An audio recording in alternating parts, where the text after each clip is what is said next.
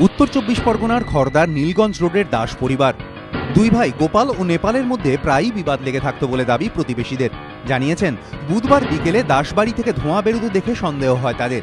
নেপাল বাধা দিলেও জোর করে বাড়ির ভেতরে ঢুকে তারা দেখেন দোতলার দরজা বন্ধ। খবর দেওয়া হয়, পুলিশ ও দমকলে বন্ধ ঘর থেকে উদ্ধার হয় তিনটি দেহ। কোপানো ও দগ্ধ অবস্থায় উদ্ধার হয় বাড়ির বড় বউ রত্না দাস এবং তার ছেলে শুভঙ্কর দাসের দেহ। পাওয়া যায়, ছোট বউ সোমা দাসের ঝুলন্ত দেহ।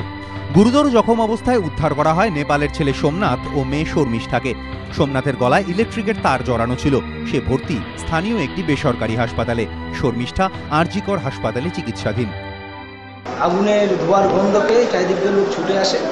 এসে দেখা যাচ্ছে হচ্ছে একটি বাড়ির মধ্যে পারিবারিক অশান্তির জেরে ভাই ভাইয়ের ঝামেলা তার থেকে আক্রোশে তার নিজের স্ত্রী সন্তান সমেত তার ভাইয়ের বউ বাচ্চা তাদের সবাইকে কুপিয়ে পুড়ে আগুন ধরিয়ে দিয়েছে প্রতিবেশীরা জানিয়েছেন বড় ভাই গোপাল পারিবারিক লেদ ব্যবসায় যুক্ত নেপাল টিভির মেকানিক।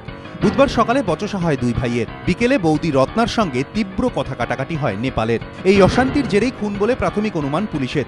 অভিযুক্ত নেপালকে গ্রেফতার করা হয়েছে। আগুনে জখম হওয়ায় তাকে ভর্তি করা হয়েছে ব্যারাকপুর বিএন বসু হাসপাতালে। একটা পারিবারিক ঝামেলা ছিল ভাই ভাই মধ্যে। আগে হতো এটা।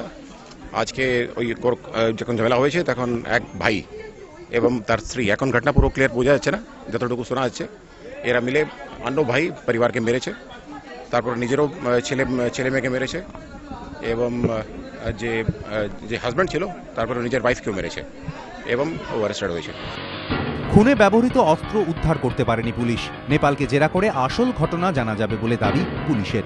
সমীরণ পাল ও চন্দন সেনগুপ্ত এবিপি আনন্দ, উত্তর চব্বিশ পরগনা।